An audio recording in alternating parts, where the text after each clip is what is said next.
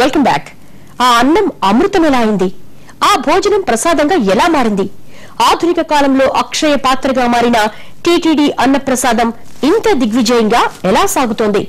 ఒక్కరోజు కూడా ఆగకుండా ఆ పథకాన్ని కొనసాగించడానికి పడే కష్టం ఎంత? రోజు అన్ని లక్షల మందికి రుచికరమైన వేడివేడి భోజనం ఎలా అందుతుంది? ఆధునిక కాలంలో ఎన్టీఆర్ హయాంలో తిరుమల అభివృద్ధిలో కీలక మార్పులొచ్చాయి. వైకుంఠం క్యూ కాంప్లెక్స్ కళ్యాణకట్ట అన్నప్రసాద భవనం వంటివి అన్నగారి హయాంలో ప్రారంభమైనవే. పంతొమ్మిది వందల ఎనభై ఐదులో శ్రీ వెంకటేశ్వర నిత్య అన్నదానం స్కీమ్గా మొదలైన ఈ పథకాన్ని పంతొమ్మిది వందల తొంభై నాలుగు ఏప్రిల్ ఒకటిన శ్రీ వెంకటేశ్వర నిత్య అన్నదానం ట్రస్ట్గా మార్చింది టీటీడీ. తొలినాళ్ళలో రెండు వేల మందికి పులిహోర మాత్రమే అందించే టిటిడి క్రమేపీ లక్షల మందికి షడ్రసోపేతమైన భోజనం అందించే స్థాయికి చేరింది. ఎంతో రుచిరా. ఎంతో రుచిరా. రెండు వేల ఐదు నాటికి ఈ ట్రస్ట్ నిధులు రెండు వందల కోట్లకు పైగా చేరుకున్నాయి. భోజన ఖర్చులు పోగా డబ్బు మిగులుతూ ఉండడంతో ఆ మిగులు ధనాన్ని ఇతర పథకాలకు మళ్ళించింది.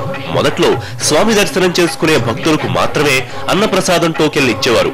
కానీ రెండు వేల ఏడులో అప్పటి టీటీడీ చైర్మన్ కరుణాకర్ రెడ్డి టోకెన్లతో సంబంధం లేకుండా తిరుమల వచ్చే ప్రతి భక్తుడికి అన్నప్రసాద సౌకర్యం కల్పించారు. దీంతో అన్నప్రసాదం స్వీకరించే భక్తుల సంఖ్య యాభై వేలు దాటిపోవడంతో పాటు నిర్వహణ వ్యయం కూడా పెరుగుతూ వచ్చింది. దీంతో మరోసారి విరాళాల స్వీకరణ మొదలుపెట్టింది. అప్పటినుంచి భక్తులు ఈ పథకం కోసం భారీగా విరాళాలు సమర్పించుకోవడం మొదలుపెట్టారు. రెండు వేల తొమ్మిదిలో ఇరవై తొమ్మిది పాయింట్ తొమ్మిది ఒక్క కోట్లు రెండు వేల పదిలో నలభై నాలుగు పాయింట్ మూడు మూడు కోట్లు రెండు వేల పదకొండులో అరవై పాయింట్ తొమ్మిది ఏడు కోట్లు రెండు వేల పన్నెండులో అరవై పాయింట్ తొమ్మిది ఏడు కోట్లు రెండు వేల పదమూడులో డెబ్బై ఐదు పాయింట్ మూడు ఐదు కోట్లు రెండు వేల పద్నాలుగులో ఎనభై రెండు పాయింట్ తొమ్మిది నాలుగు కోట్ల రూపాయల విరాళాలొచ్చాయి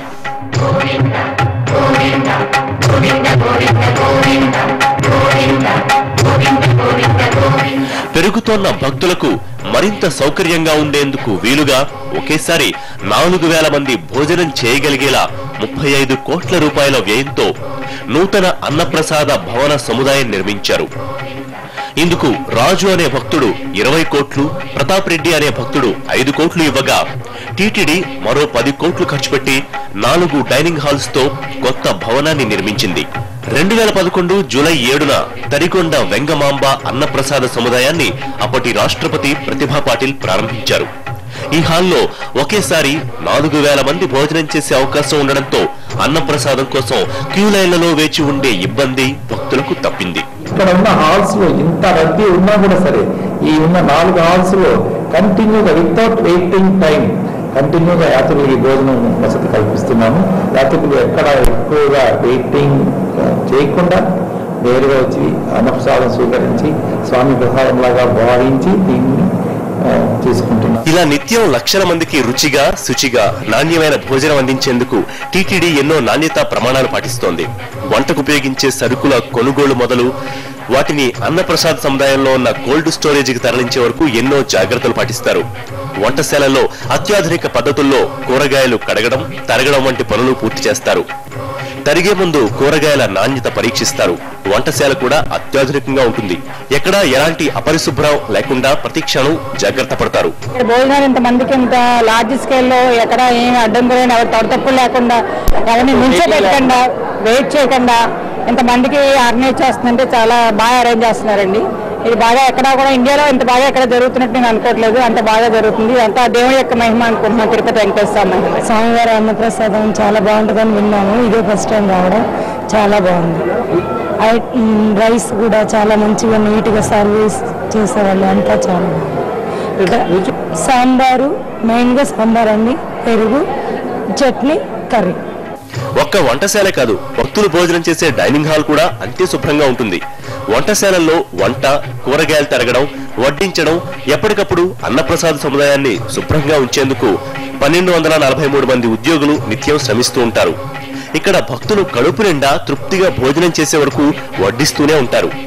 ఇక్కడి భోజనంలో రుచి శుచులతో పాటు భక్తి కూడా మేళవించి ఉంటుందని ఈ భోజనం చేస్తే ఎంతో పుణ్యం వస్తుందన్నది భక్తుల నమ్మకం. రెండు రోజుల నుంచి మేము ఇక్కడే భోజనం చేస్తున్నాము. చాలా బాగా పెట్టినారు. మన ఇంట్లో కూడా ఇంత శుచిగా శుభ్రంగా చేసుకోరేమో అని అనిపిస్తుంది. అంటే హడావిలో ఈ బిజీ లైఫ్లో కానీ ఇన్ని లక్షల మందికి వీళ్ళు ఏ మాత్రం విసుక్కోకుండా కసురుకోకుండా అడిగి అడిగి వడ్డిస్తున్నారు. అండ్ మోరోవర్ చాలా బాగుంది ఫుడ్ మటుకు. ఇప్పుడు ఇవాళ మూడో రోజు ఇక్కడ భోజనం చేస్తున్నాం. చాలా బాగుంది. దేవస్థానాల్లో ఫ్రీ భోజనం ఎలా ఉంటుంది అంటే ఇప్పటివరకు ఎక్కడ మంచిగా రాలేదన్నమాట. టీటీడీ వచ్చేటప్పుడు మాత్రం మా ఫ్రెండ్స్ అందరూ కూడా అంతకుముందు వచ్చిన అనుభవంతో మాకు చెప్పారు. అక్కడ మాత్రం అన్నదానం మిస్ అవ్వద్దు చాలా బాగుంటుంది అని చెప్పారు. నా ఎక్స్పీరియన్స్ కూడా అలాగే ఉంది. చాలా బాగుంది. నేను కూడా ఇంకో పది మందికి చెప్పగలుగుతున్నాను. తిరుమలలో భక్తులకు కలిగిస్తున్న సౌకర్యాలపై వేసిన కమిటీలు మిగిలిన అన్ని సౌకర్యాలపైన ఎప్పుడో ఒకప్పుడు అసంతృప్తి వ్యక్తం చేశారు తప్ప ఇప్పటి వరకు ఒక్కసారి కూడా అన్నప్రసాద పథకం మీద ఒక్కరంటే ఒక్కరు కూడా విమర్శలు చేయలేకపోయారు. ఎందుకంటే ఇక్కడ అన్ని అంత పద్ధతిగా పరిశుభ్రంగా పగడ్బందీగా జరుగుతాయి కాబట్టి. ఇప్పటి వరకు టీటీడీలో ఒక్క విమర్శ కూడా ఎదుర్కొనే విభాగం ఏదైనా ఉందా అంటే అది ఒక్క అన్నప్రసాద విభాగమే. ఈ విభాగానికి ప్రశంసలే తప్ప విమర్శలు రావు రాలేవు. ప్రపంచంలో ఎక్కడా లేనిది తిరుపతిలోనే ఎలా సాధ్యమైంది? ఏంట వైశిష్ట్యం? షో వేట్ చూద్దాం.